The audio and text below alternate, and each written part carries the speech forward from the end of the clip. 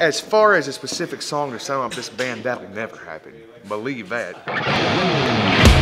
Me and Mary Jane got a thing going on, going on.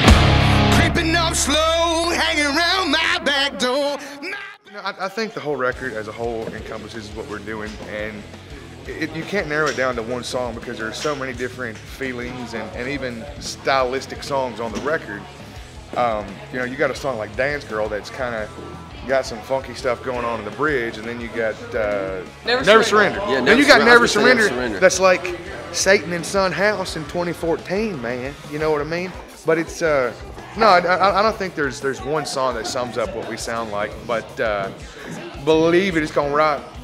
It's gonna rock. Really good album. It might even roll.